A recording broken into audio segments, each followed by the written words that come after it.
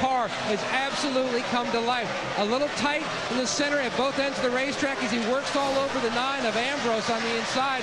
But the biggest thing, he says the groove is starting to widen out a little bit. It was so narrow and edgy earlier on. 88 moving to the front. And Samantha's got it right. The Batmobile has come to life. Put Dale Earnhardt Ooh. Jr. on the point at Michigan, but he wiggles off a turn four. That was a Ambrose gave him a little bit of a break there. Yes, he did. But that was a power move up off turn two and down the backstretch.